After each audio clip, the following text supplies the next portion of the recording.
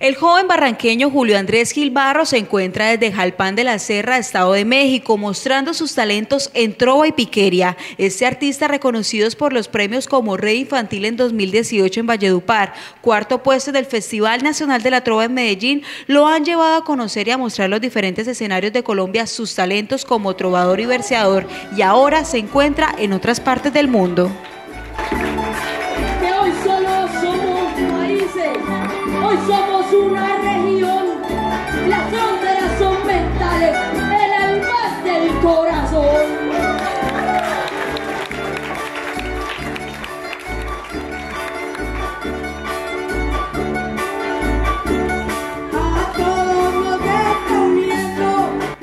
Este joven viajó a México el del 22 de agosto con el objetivo de compartir experiencias, tradiciones, costumbres y culturas que lo caracterizan como barranqueño. Julio Andrés Gilbarro se encuentra con su madre en este país, quien lo apoya desde que se incentivó en hacer parte de esos espacios musicales. Este artista llegará en unos días a la ciudad de Barranca Bermeja a compartir sus conocimientos y a adoptar lo que aprendió en este país mexicano.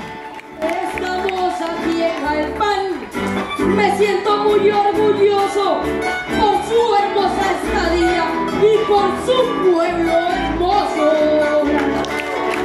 Cabe resaltar que con tan solo 13 años es uno de los primeros barranqueños en tan corta edad en llegar hasta este punto de concursar y competir contra otros grandes de la piqueria, esta vez a nivel internacional. Sin embargo, Julio Andrés Gil Barros aspira a seguir trabajando diariamente por sus sueños, pero sin olvidar sus estudios, ya que se propuso desde que inició el colegio a ser un profesional, además de ser verseador.